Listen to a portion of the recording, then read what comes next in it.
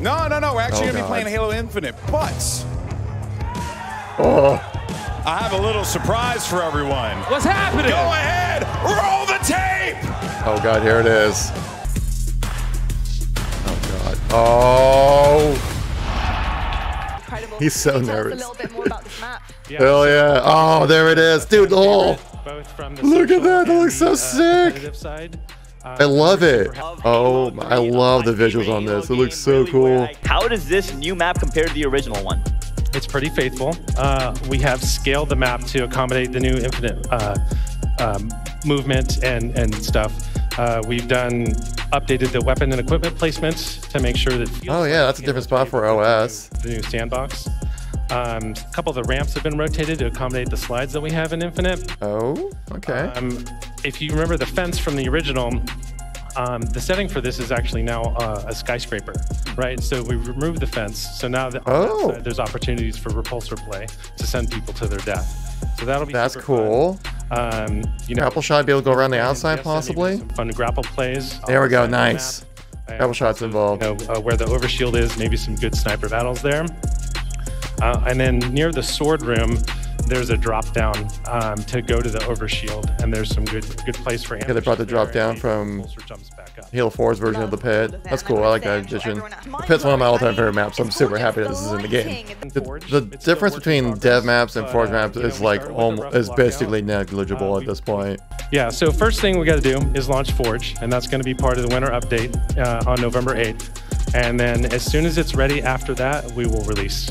Uh, did we did- he didn't even give us, like, an actual date, it says able to after Forge launch. Pit remake. It Ugh. is absolutely incredible. That's I love cool. all of it.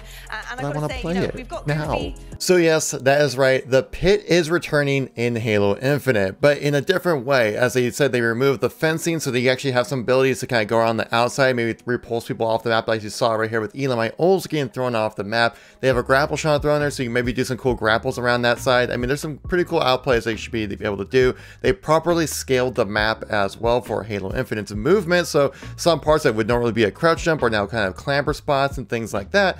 Uh, but for the most part, they said it's rather faithful to the actual release. Now, I'm super bummed that it's not being able to be played right now. I mean, like the cat's out of the bag right now when it comes to Forge content. People are finding ways to do it within the retail version to play custom games.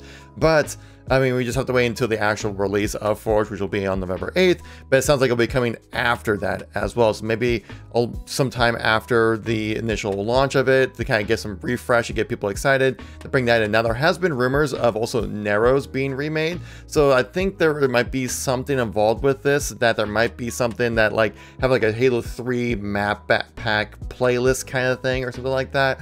Uh, if they could just throw those maps in the matchmaking along with everything else, that would be really awesome. Now, I do know that one streamer who was making a Guardian remake, a very faithful re- recreation of Guardian, and uh, he got contacted by 343 midstream. I just got a Twitter message from Unyshek, a DM. He wants to talk Halo stuff.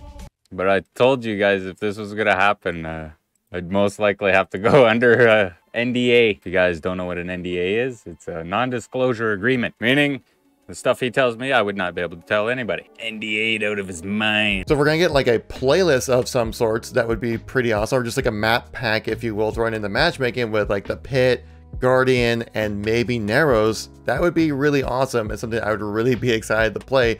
Maybe have it happen like an update right before 343 goes on their winter break, you know, during uh, December at some time. Maybe that's the winter contingency event. I don't know. But it's super exciting to see that this is actually happening with Halo. But just like everything in Halo Infinite, guys, we just have to wait.